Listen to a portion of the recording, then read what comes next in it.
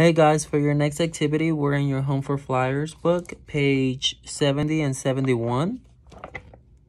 Okay, at the hospital.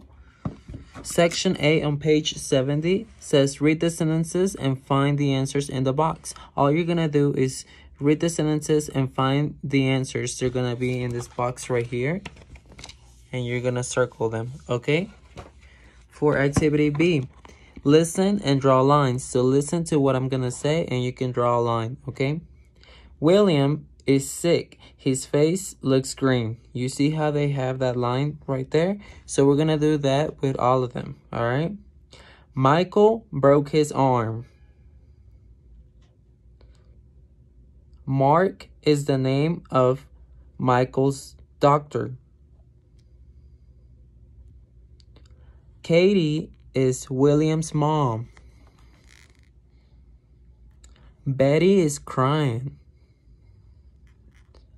Sarah has a broken foot. And Mary ha is having her temperature checked. All right, so that was section B. Section C says complete the sentences with names and other words from the box in A.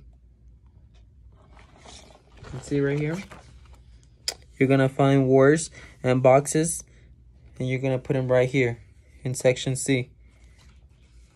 Okay? Section D, it says read the conversation and choose the best answer. So again, you're to read the conversation and you're to choose the best answer from this box. All right? Next section. Ask and answer questions about Dr. King and Mrs. Ring's jobs. All right.